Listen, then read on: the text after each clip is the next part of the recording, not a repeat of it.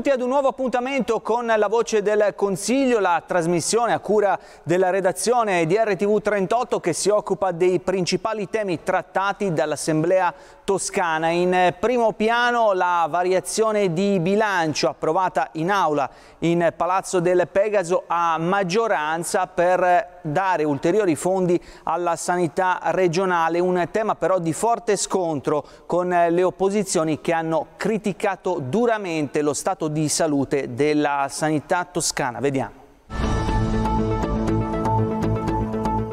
Una traslazione di risorse per quasi 47 milioni di euro che passano dal titolo spese correnti a spese in conto capitale fatta per garantire l'equilibrio economico al bilancio consolidato del sistema sanitario regionale. È quanto approvato a maggioranza dal Consiglio regionale con la prima variazione al bilancio di previsione finanziario 2023-2025, un atto illustrato in aula dalla Presidente della Commissione Affari Istituzionali, Giacomo Bugliani. È noto a tutti che la sanità dopo la pandemia ha registrato forti perdite, quindi c'è un impegno da molto tempo da parte della Regione Toscana come del resto da parte anche delle altre regioni italiane a recuperare risorse.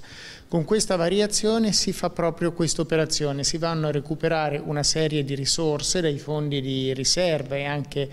dalle somme che erano state poste a garanzia delle, dei debiti che erano stati contratti dagli enti del servizio sanitario nei confronti di Cassa Depositi e Prestiti e coperti dalla garanzia della Regione attraverso le lettere di patronage. Queste risorse recuperate dagli accantonamenti e dalle riserve vengono oggi destinate al servizio sanitario regionale. Una misura importante, necessaria e che dimostra come la Regione stia con senso di responsabilità affrontando il tema dei costi della sanità per continuare a garantire i servizi ai cittadini. Ma sì, siamo rimasti un po' tutti perplessi perché mentre l'Aula sta discutendo di una variazione di bilancio eh, finalizzata all'ennesimo assestamento dei conti in sanità, eh, mentre paradossalmente anche i colleghi di maggioranza facevano appelli alla serietà, a mantenere il dibattito circoscritto al tema della sanità, dei conti della sanità, il Presidente Gianni, anziché stare in aula e partecipare al dibattito, ha pensato bene di annunciare la prossima variazione di bilancio, cioè dirci che a breve, mentre noi discutiamo ancora di questa, lui è già avanti, ci annuncia che, la, che a breve arriveranno 8 milioni per fare le bonifiche CHEU, che ovviamente i territori chiedono ormai da mesi, e che hanno la necessità di far partire, che non sono ancora partite, dicendo che la regione toscana si sostituirà a chi avrebbe dovuto fare quelle bonifiche e non le ha fatte. Il fatto che un'intera variazione di bilancio debba essere dedicata alla sanità fa capire quanto sia in affanno in questo momento il sistema toscano. E si può invocare naturalmente quelle che sono le criticità che sono e si sono acuite con il Covid, però rimangono, permangono a distanza di tempo e anzi si sono aggravate molte criticità che il sistema sanitario toscano già aveva e questo, eh, a questo si deve far fronte quindi con degli interventi straordinari. E poco importa che in questo momento e solo in questo momento la giunta regionale invochi un intervento del governo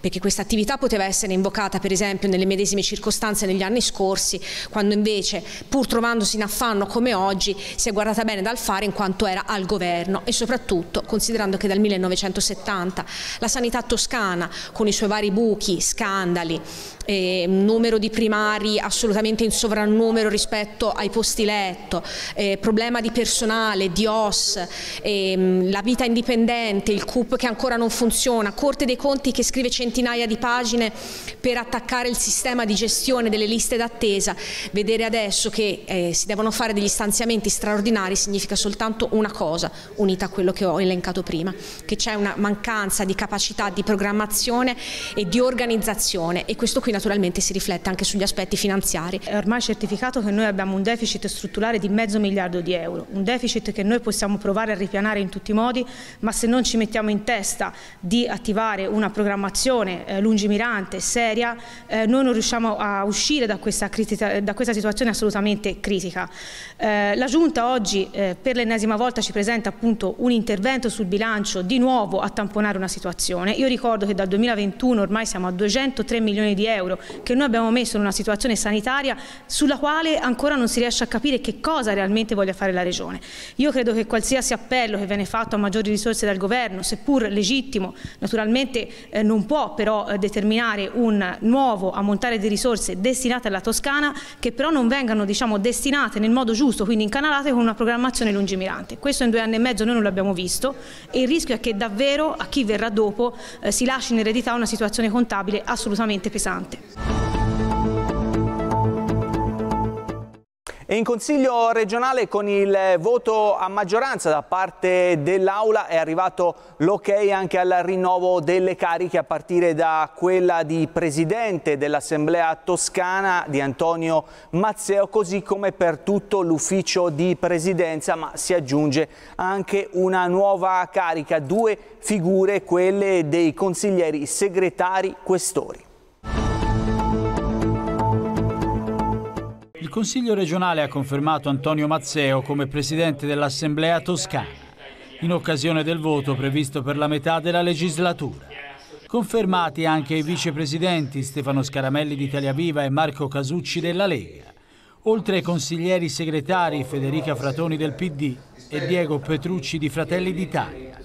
All'interno dell'ufficio di presidenza, come previsto dall'ultima modifica dello Statuto regionale, sono stati introdotti altri due segretari questori, i consiglieri Francesco Gazzetti del Partito Democratico e Marco Stella di Forza Italia. Sento un forte carico di responsabilità quando l'Assemblea legislativa eh, ti elegge nella maniera in cui sono stato eletto oggi, mi dà il senso di quanto sia importante il lavoro che abbiamo fatto in questi due anni e mezzo, con serietà, con impegno, con rigore, con passione, insieme a tutti gli altri colleghi dell'ufficio di presidenza che ringrazio. Noi davanti a noi abbiamo due anni e mezzo ancora molto complicati, usciamo dalla terribile pandemia, i primi mesi difficili, portati avanti da tutti con grande serietà lo scoppio della guerra con tutto quello che ha significato, sicuramente perché le nostre coscienze sono state scosse, ma anche per quello che poi ha significato nella vita di ogni giorno delle cittadine e dei cittadini della nostra regione. La Toscana è sempre stata una terra d'accoglienza, una terra aperta, eh, inclusiva e vuole continuare ad esserlo. Io mi sono preso un compito che è quello di cercare di portare nei prossimi due anni questa Assemblea legislativa a essere sempre più la casa delle toscane e dei, dei toscani,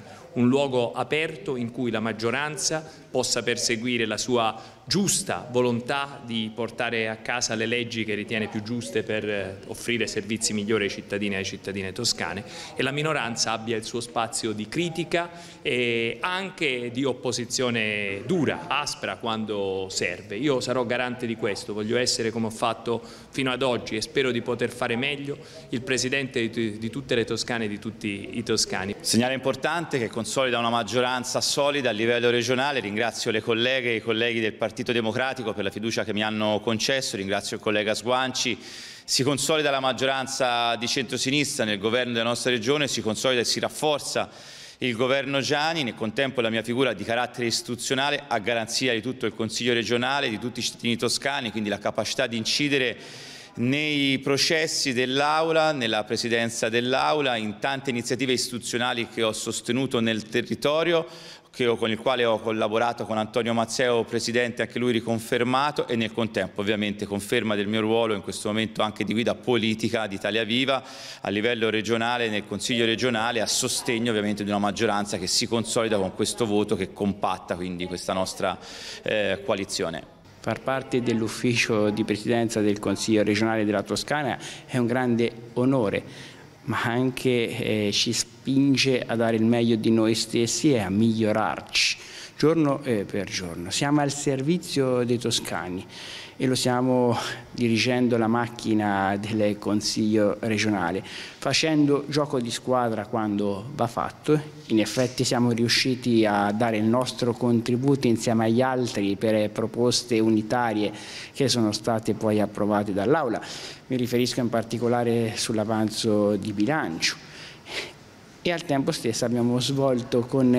puntualità il nostro compito ispettivo affinché tutto potesse procedere nel modo migliore con la massima trasparenza. È una grande responsabilità, ma anche una grande gioia. Eh. Io sono onorato eh, di far parte dell'ufficio di presidenza ormai dal dicembre del 2017, sono diversi anni e ho cercato in questo periodo di fare l'interesse di tutti i toscani. Un onore grandissimo rappresentare il Consiglio regionale della Toscana nell'organo di governo, lo facciamo in maniera penso il più istituzionale possibile perché non è quello il luogo della contesa politica, l'agone politico ci deve essere, anche duro, anche rigido, sicuramente in eh, certi momenti radicale, ma questo deve essere fatto nelle commissioni dove si discutono le proposte di legge e le linee di governo della regione toscana, sicuramente nell'aula del Consiglio regionale l'ufficio di presidenza è un altro ambito nel quale dobbiamo invece decidere le regole che valgono per tutti e in quel momento dobbiamo avere un atteggiamento il più possibile super partes anche eh, riuscendo a spogliarsi delle proprie appartenenze politiche e avendo appunto come obiettivo comune l'interesse dei cittadini toscani. Sono molto felice che l'Aula abbia riconosciuto il buon lavoro fatto e abbia riproposto i nominativi già presenti in ufficio, questo appunto come segnale di fiducia anche per il futuro. Credo che continueremo a lavorare anche con l'innesto dei due nuovi questori in uno spirito di collaborazione che ha sempre contraddistinto